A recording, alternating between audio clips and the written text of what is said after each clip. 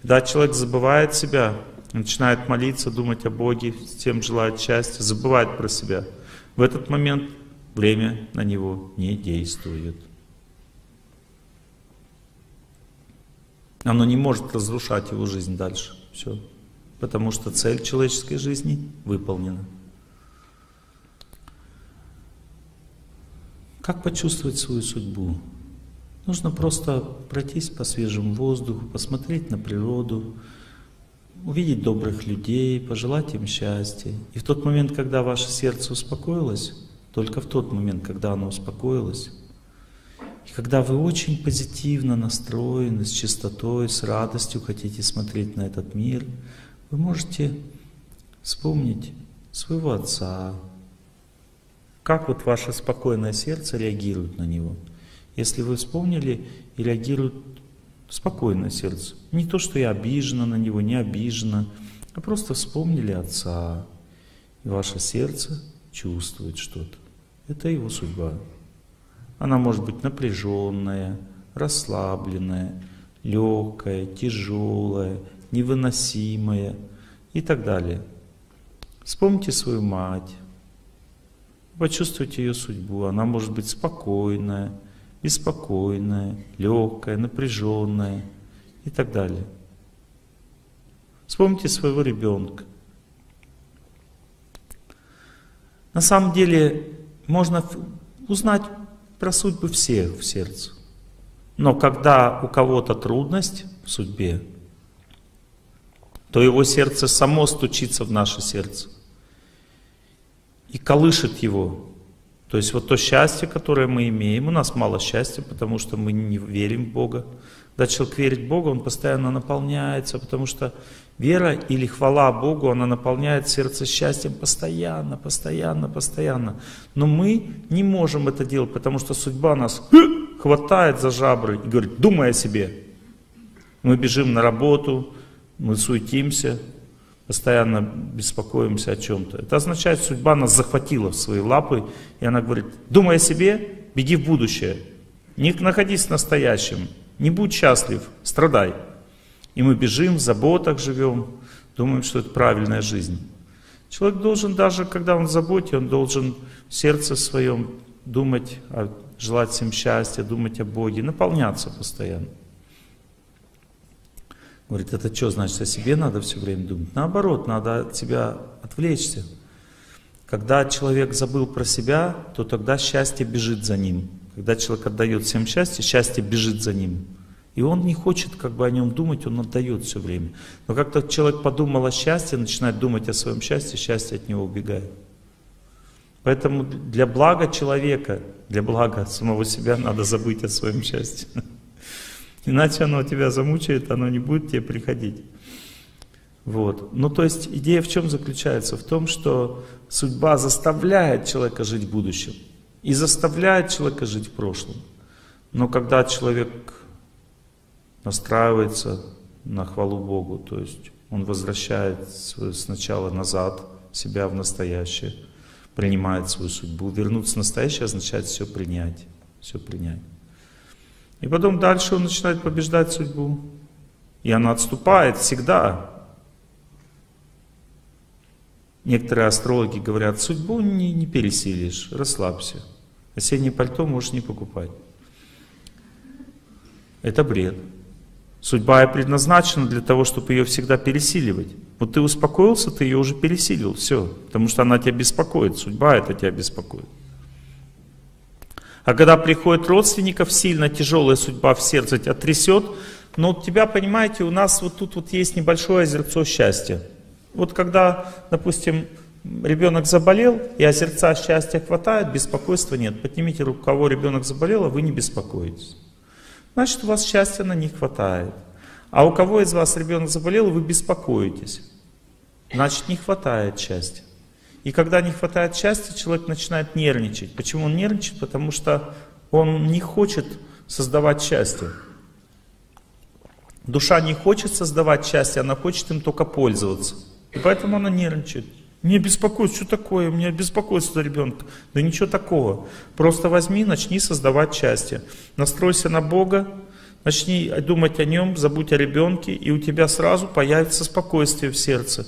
Через некоторое время ты успокоишься совсем, первая стадия победы над судьбой. Потом дальше ты еще помолишься, и у тебя появится знание, как его лечить. Потому что на второй стадии появляется влияние на ситуацию.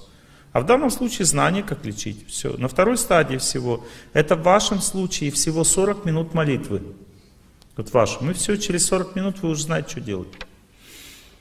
Так все просто кажется. Но на самом деле все сложно. Почему? Потому что во время судьба бьет по башке. Человек ничего не соображает. Он начинает меня, метаться, начинает жить будущим, понимаете, начинает бежать. И вот это бегство, оно означает э, неразумность, отсутствие знания. И человеку трудно себя привести в порядок, заставить молиться. Я тоже бегаю от судьбы. Когда понял, что я бегу, раз, останавливаюсь, начинаю молитву. Что с человеком происходит, когда он спешит? Он забывает про природу. Он не может уже смотреть, как береза смотрится в ручей, потому что он ушел в будущее. Он не видит доброты в это время, он не помнит о Боге. То есть человек, когда спешит, что с ним происходит? Он теряет себя, понимаете? То есть спешать, я тоже сегодня бежал, я спешил. Я желал всем счастья в это время. Допустим, человек может спешить по-разному. Можно спешить и слушать лекцию, допустим, в это время. Или работать и слушать духовную музыку. И в это время человек себя не теряет, он наполняется, он становится счастливым и побеждает судьбу. Но когда человек живет в будущем, вот я стою на остановке и притягиваю автобус взглядом, это безумие. И когда водитель едет, он видит, что его все притягивают взглядом, он нервничает, у него нервная работа. Потому что он быстрее ехать все равно не сможет, понимаете, чем он едет. А когда все заходят в автобус, ну вроде бы уже все, счастье пришло. Зашли в автобус, двери закрылись, дальше, когда же моя остановка? Они теперь начинают думать о том, когда приедут. Приехали, вроде бы уже классно, приехали, вышли. Когда доберусь до дома? Добрался до дома, Вроде бы все классно уже. Когда телесериал начинается. Телесериал начался, но уже совсем все классно уже. Когда же его убьют? Ну или когда уже он спасется, наконец. Это называется жизнь в будущем.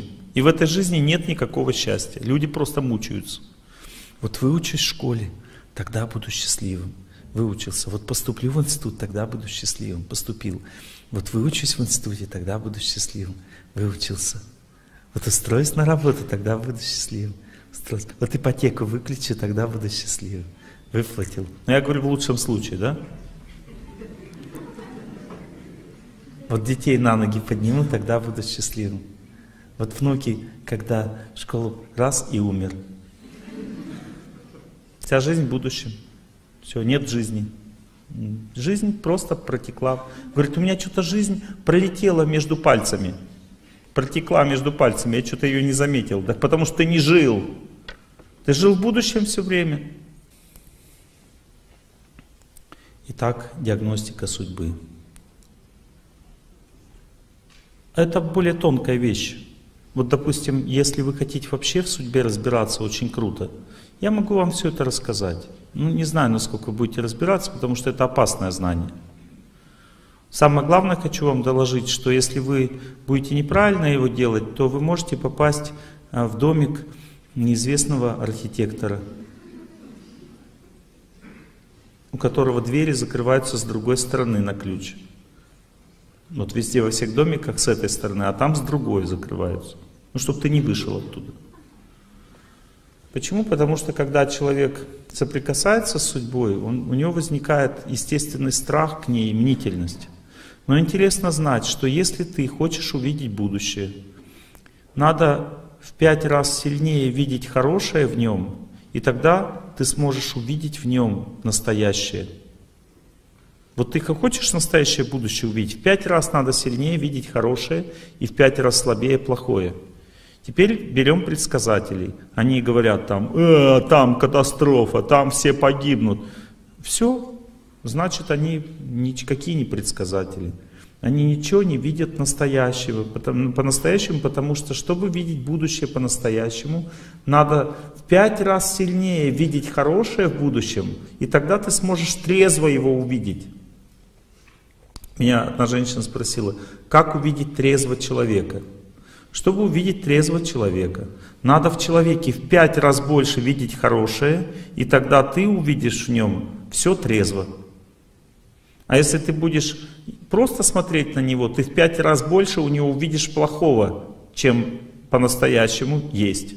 В результате трезвость никакой не будет, потому что человек живет в страхе.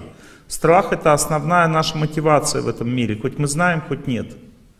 И поэтому мы больше всего видим плохое, понимаете, и в судьбе, и в людях, и во всем. Поэтому мы не можем будущее на будущее нормально смотреть. Вот у Белоруссии хорошее будущее. Ну все, молодцы. Если вы так пять раз сильнее еще скажете, что хорошее, то тогда вы увидите будущее Беларуси. Почувствуйте его этапы развития страны.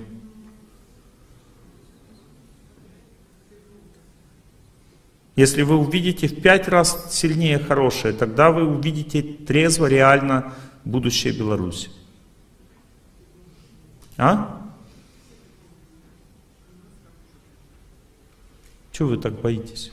Давайте все так громко скажут, что у нас хорошее будущее. Зачем громко говорить?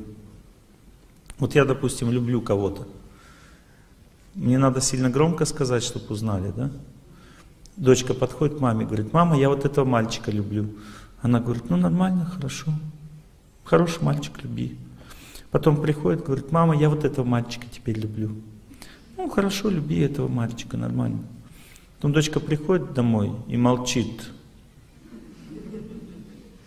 Говорит, доченька, что с тобой? Она говорит, я не могу тебе сказать, мама. И мама тогда думает, влюбилась.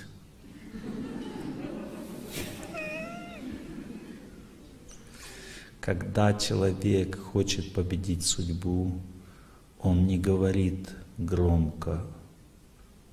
Самая громкая фраза – это самая тихая. Ничего не бойтесь, моя хорошая. В Беларуси и так хорошая судьба.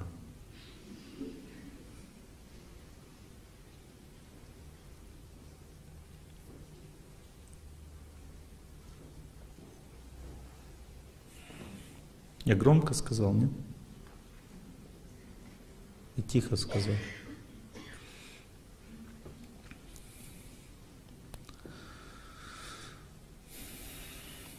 Итак, если вы хотите знать свою судьбу, вам не надо ее бояться, учиться, по крайней мере. Очень важно это понимать, очень важно. Вам надо сильно помолиться и успокоиться по поводу своей жизни, своей судьбы. И дальше в спокойном состоянии можете на нее посмотреть, будете все о ней знать. Знать надо обязательно, потому что это помогает жизни, это спасает. Я очень часто это делаю. То есть я сажусь, допустим, у меня поездка, это всегда опасно, самолеты, вы говорите, Олег Геннадьевич, приезжайте. Я говорю, ладно. На самом деле это самолеты, там риски всякие для жизни и так далее. Вот в прошлом году у меня было 50 перелетов ну, не считая переездов на поезде. Вот я в самолете жил 250 э, часов. Ну, в общей сложности. Нормально? Для вас, да? Ну, я железный просто. Знаете, я из железа соткан просто. Для вас, Олег Геннадьевич, а для меня нет. А для вас, да сострадательные вы мои.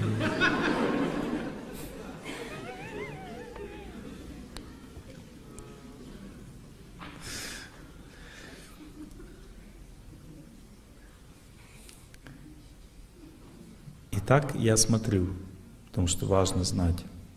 И в прошлом году, когда я в феврале месяце планировал свою поездку в Израиль, я заметил – что я могу погибнуть во время поездки в Израиль. Моей судьбе очень неблагоприятный период. Я начал молиться, молился, молился, молился, принял сначала. Сначала подумал, о, не поеду в Израиль. Потом думал, ну что же это за реакция такая, ты лекции читаешь, давай немножко потрудимся, давай посмотрим на судьбу, ты же хочешь ее изучать, давай изучай. Хорошо. Я такой думаю, ну ладно, я не знаю, поеду, нет, буду молиться. Страшно же, погибнуть можно. Болтать-то можно все что угодно. Реальность, она другая. Вот. Я начал молиться. Молился, молился, молился. Несколько дней молился. Не так много, кстати. И раз смотрю, отступает судьба плохая, начала отступать, мне спокойнее, спокойнее, спокойнее. В какой-то момент раз я чувствую, что если еще несколько дней помолюсь, вообще ничего не будет. Я думаю, нет, я должен проверить. Я же хотел понять свою судьбу, как это работает, совпадает ли мои мысли с настоящим. Я решил, еду в Израиль. Прилетел туда, всех предупредил ездить аккуратно, опасный период, там туда все. Все ездили аккуратно, ничего не произошло, как будто вот я вообще, как, как бы я думаю, может я шизофреник. Может там в интернете правильно как бы пишут. Я начал так думать, что я же должен знать правду. Вроде молился, опасность для жизни, должно же было что-то произойти, ничего не произошло. Я думаю, ну не знаю, надо еще помолиться, понять, что такое вообще. Ну и я полетел назад в Москву. Ну и так все говорят там, может я думаю, может в этом полете что-то не так. И там смотрю, погода ясная, мне говорят, полет нормальный, расчетное время, прибываем, все как обычно. Я думаю, вообще странно как-то. Я такой вот в полном таком вот непонимании, что происходит. Сел в самолет, полетел, лечу. И вдруг неожиданно перед самой посадкой в Москве разыгрывается буря в Москве. И самолет целый час кружит над Москвой, не может сесть. Стюардессы это самый лучший показатель, что происходит. Главное их не спрашивать, потому что они всегда будут улыбаться и говорят, что все хорошо. Надо просто на них смотреть. Я смотрю на стюардессу, они побледнели все, мои хорошие, такие побледнели, ходят такие и улыбаются. Мужественные люди, я наблюдаю, мужественные люди. Побледнели и улыбаются, ходят. Ладно, думаю, отлично. И начал смотреть на судьбы всех людей в самолете. Смотрю, все сейчас должны погибнуть до одного. Смотрю, судьба погибнуть. Одни спят в это время. Другие просто такие, «Э, там, ну, чувствует же человек, что может погибнуть. И вот реакция, одни просто решили заснуть, отвлечься от этого. Какие-то мысли странные приходят в голову. Заснул один. Смотрю, второй такой в компьютере сидит там, фильмы смотрит, отвлекается. Третий молится человек. Понял, что опасность есть, почувствовал. Разумный человек, молится, сидит. И так далее. Смотрю, вот на всех эта судьба возможности погибнуть. Я такой сосредоточился, спасибо Господи, показал, все.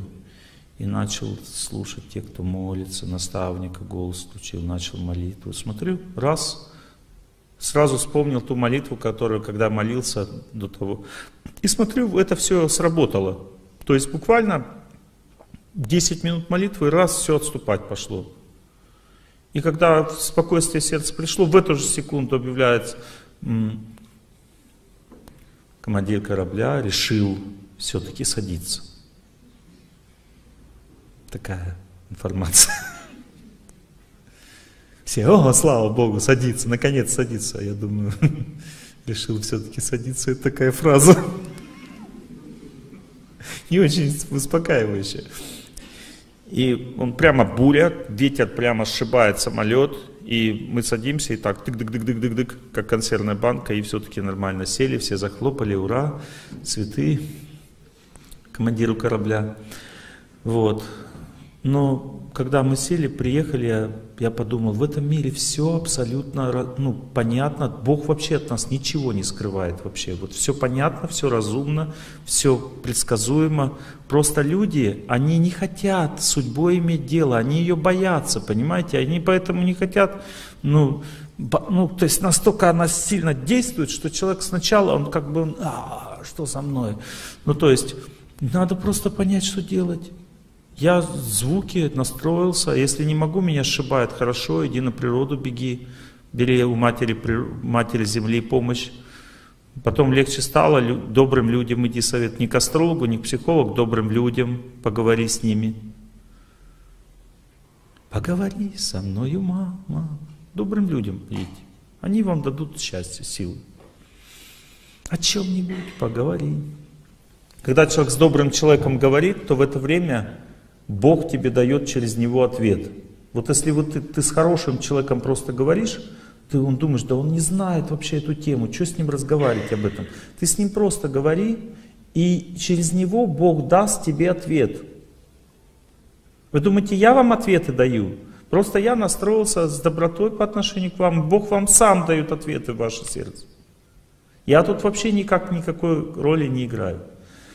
Господь всегда, если человек правильно настроился, Господь сам с ним все решает, все вопросы. От сердца к сердцу происходит этот контакт. Меня разок такой, женщина написала в интернет такой случай. Ну, смешная история. Женщина задает мне в уме вопрос, я отвечаю на нее тут же. Задает, я отвечаю, задает, я отвечаю. Ну так раз пять она задала вопрос, напишет в интернет историю свою. И потом она поднимает руку, чтобы спросить меня.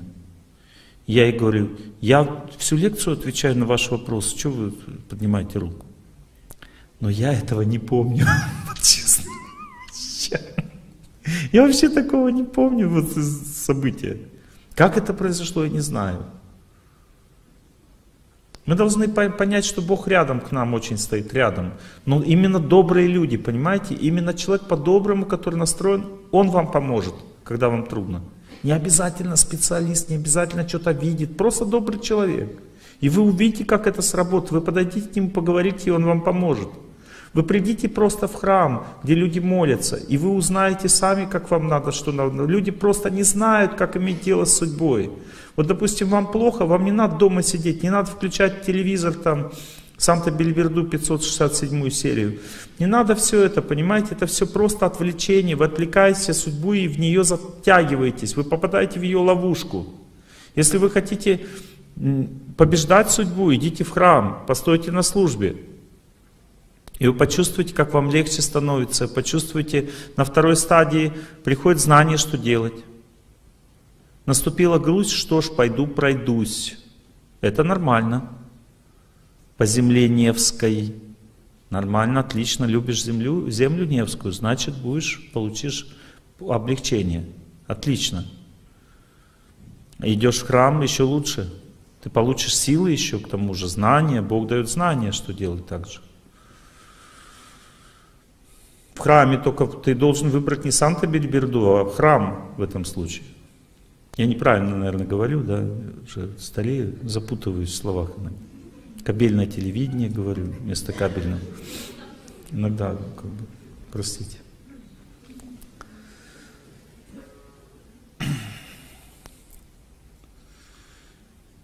Итак,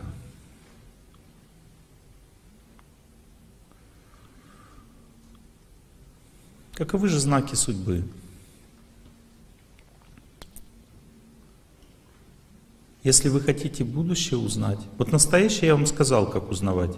Успокоились сердце, подумали обо всем, что вас окружает. Самая сильная информация будет приходить сама. Самое сильное вы уже знаете. Вас беспокойство там, о чем в сердце, это уже Бог вас оповестил. Он говорит, там, где беспокойство, это там и самая тяжелая судьба. Вас Бог уже оповестил. Вы подходите и говорите, у меня беспокойство о сыне. Можете не спрашивать, это действительно тяжелая судьба. Все. Есть одно исключение. Если вы очень сильно привязаны к чему-то, то вы можете ошибаться. Когда а, сильно от счастья от сына хотите, а сын не дает счастья. Ему просто надоело уже эти мучения. Его вытаскивает счастье из него мать, просто вытаскивает. Надоели эти мучения, он с ней не общается, она думает, у нее тяжелая судьба. Нет, просто она неправильно живет, неправильный образ жизни. Не надо хотеть от счастья сына, надо ему желать счастья, наоборот. И тогда у вас успокоится сердце, тогда вы узнаете правду. Итак, сначала войдите в правильное состояние. Если вы в неправильном состоянии, то вы будете в мнительность впадать, по отношению к своей судьбе. И тогда вы ее неправильно увидите. Успокоились, помолились. Будущее светлое, все, судьба ваша светлая, хорошая. Верите в свою судьбу, она светлая у вас судьба. Некоторые подходят, я замуж-то выйду. У вас светлая судьба. Вы же женщина родились, значит выйдете. Зачем тогда женщина человек Богу женщину рожать? Зачем? Столько материала используется, расходуется зря.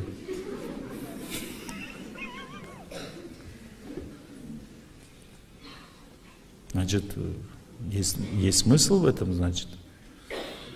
Дети нужны, значит, Богу дети нужны. Он как бы женщину создает, чтобы были дети потом. Все запланировано. Но у женщины есть судьба, то есть она не дает детей сначала. Почему? Потому что надо сдавать экзамены, жить. Не просто все так. Мы же смысл-то жизни не нарожать детей и помереть спокойно. А смысл жизни развиваться. Поэтому Бог ставит препятствия. Некоторые говорят, а некоторые вообще всю жизнь без детей проживают. Но это же их проблема. Я же говорил, можно взять на воспитание. Кто вам мешает? Да? Или вы говорите, а некоторые не могут выйти замуж всю жизнь, тогда другие планы. У Бога могут быть разные планы. Допустим, если женщина не может выйти замуж, значит она в прошлой жизни была очень возвышенным человеком. Жила в монастыре и хотела продолжать Богу служить, а не жить семейной жизнью. И Бог ей дает это знание, Он говорит, тебе лучше в монастыре жить, что ты лезешь в замужество? Ты же хочешь мне служить? Вот иди в монастырь.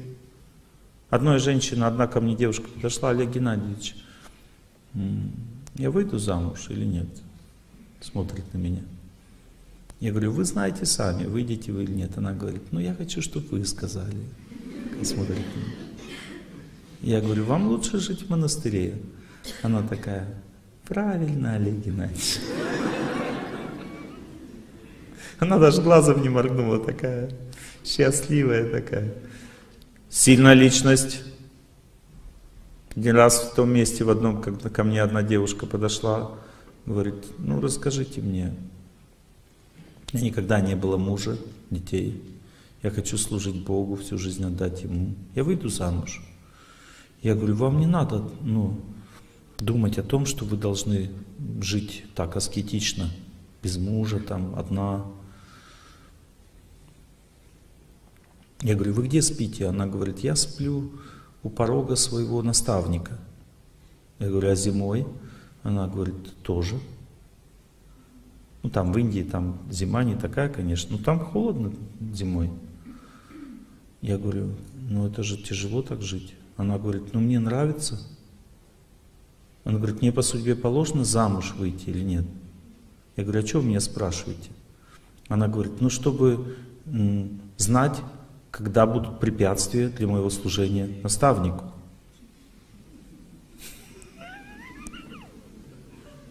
В жизни у меня есть эти препятствия или нет? Я посмотрел на нее, говорю, у вас в жизни нет никаких препятствий. Она говорит, я так и думала. Пошла. Мои хорошие, я таких людей видел, таких женщин, только три в своей жизни. Только три. А видел я женщин в своей жизни очень и очень много. Поэтому не думайте, что у вас такая судьба. Но если Бог дает такую судьбу, люди радуются этому. А если вы не рады, значит тогда это просто препятствие, которое надо преодолеть, и все. И вы не можете его преодолеть, потому что лень души мешает.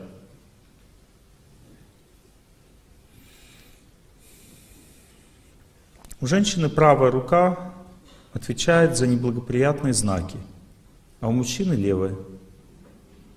Есть энергия, которая течет по руке.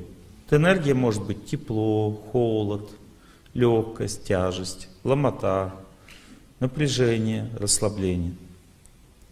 Если человек уже успокоенный, сидит в сердце, он как бы радуется своей судьбе, верит, что все у него будет хорошо, то в этот момент он готов продиагностировать свое будущее. В это время надо вспомнить любое событие, которое происходит в жизни, любое. И не надо думать о руках в это время. Надо просто думать о событии. И когда вы сосредотачиваетесь на событии, в какой-то момент вдруг руки сами о себе начнут говорить. И вы просто посмотрите, что за энергия идет по какой руке. Потом, когда вы уже сосредоточились на событии, не думайте о руках, просто думайте о событии. И потом переводите внимание на руки. Если у мужчины по правой руке идет легкая такая энергия, легкость такая, значит все будет хорошо. И не будет никакого напряжения. Если жар по правой руке идет, значит будут какие-то эмоциональные вещи происходить с ним. Если неприятный жар, значит неприятные эмоции, приятный, значит приятные эмоции. Если холод по руке идет, такой холод, это значит, что судьба хорошая, но события от него не зависят. Ну, то есть они будут сами происходить. Холод приятный такой, прохлада, прохлада в руке. Если руку ломит правую мужчины, правую руку ломит, значит события будут тяжелые, но они будут преодолимые своими силами. Не надо бояться. Если ломота очень сильная, это значит сильно тяжелые события, но преодолимые своими силами. Если руку сводит, это значит огромной силы события, но они ничего плохого тебе не сделают, не сломают тебя, просто закалят. Если ломота в кончиках пальцев, это значит, что события тяжелые, но они тебя только просто заденут. Если средние фаланги пальцев, значит события тяжелые, и они войдут в твою жизнь, но не сильно затронут. А если пальцы все ломит до до основания, значит события извне какие-то, и они сильно тебя тронут. А если до запястья дошли, значит очень сильные события. А если до локтя, еще сильнее. А если всю руку пробило, значит огромной силы событий, непреодолимой силы. А если наоборот идет ломота из, из руки наружу, это значит, что из тебя что-то изойдет не то. Не снаружи будут тебя мучить, а ты сам будешь ошибки совершать.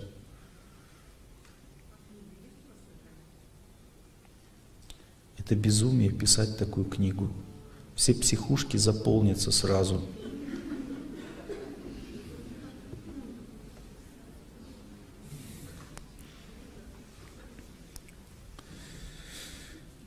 Если то же самое происходит у мужчины по левой руке, это означает непреодолимая сила. Допустим, тепло по левой руке. Непреодолимая, это значит, любовь негаданно нагрянет, ее совсем не ждешь.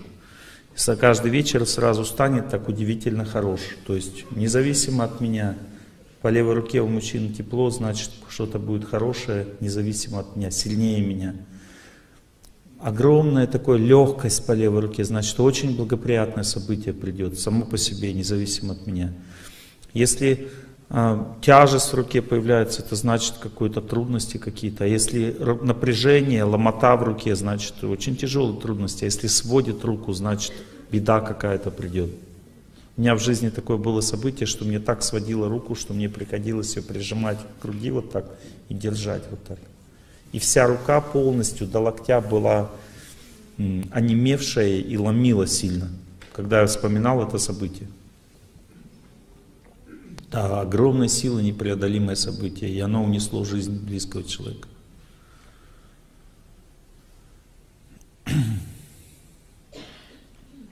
У женщины все наоборот. Если по левой все хорошие знаки идут, по левой все идет, значит хорошие знаки, преодолимые своим силам. А по правой руке, если у женщины идут, значит непреодолимые.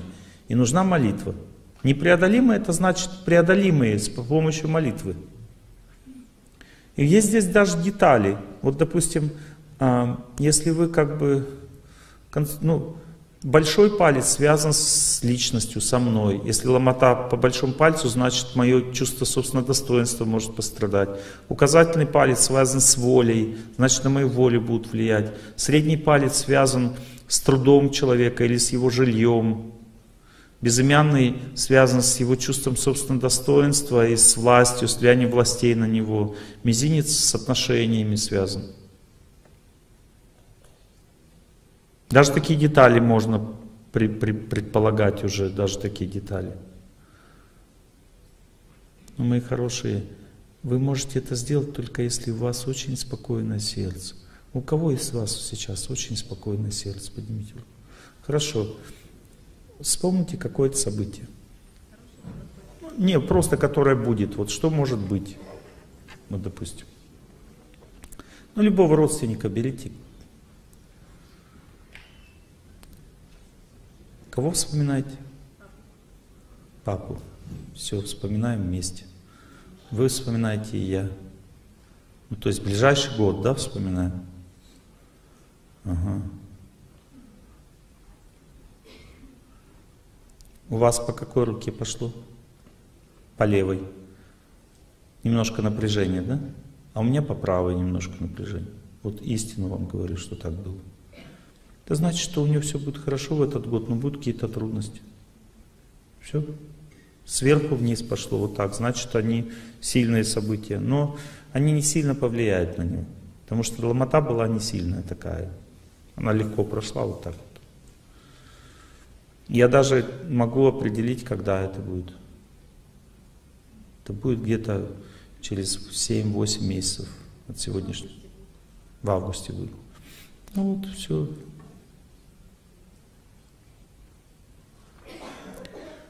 Ясна система?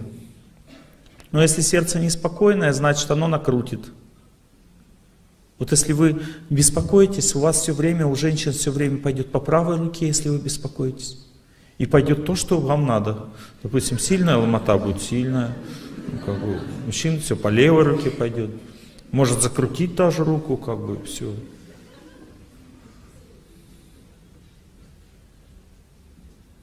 А потом вы можете сказать, Олег Геннадьевич меня сглазил.